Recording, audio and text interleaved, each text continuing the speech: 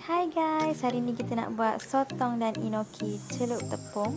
Okey, mula-mula kita buang kulit sotong dulu. Okey, ni terpulang. Kalau nak buang pun tak apa, tak nak buang pun tak apa. Okay, sebab sotong ni besar, so saya buang kulit lah. Tuhan untuk salut sotong. Pecahkan sebiji telur. Kita ambil putih telur sahaja. Gaul sotong bersama bancuhan tepung tersebut. Dah siap. Selamat menjamu selera.